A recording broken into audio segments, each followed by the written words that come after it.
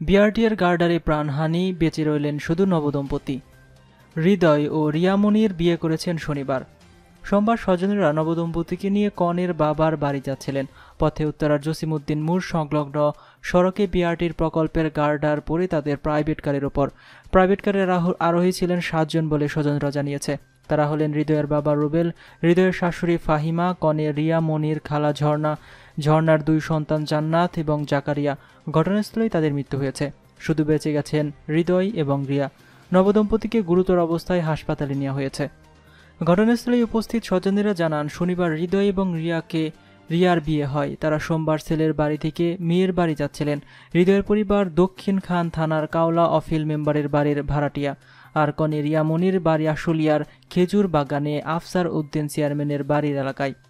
হৃদয়ের চাচাতো ভাই রাকিব বলেন, বিকেল সাড়ে তিনটার দিকে তারা দুর্ঘটনার খবর পান, কিন্তু এত সময় পরও গাড়ি থেকে মরদেহগুলো বের করতে পারেনি উদ্ধারকারীরা। ভেতরে যদি কেউ বেঁচে থাকেও তাহলে এতক্ষণে হয়তো মারা গেছেন। রাকিব খুব প্রকাশ করে বলেন, সরকার কীভাবে এভাবে অব্যবস্থাপনার মধ্যে কাজ করছে?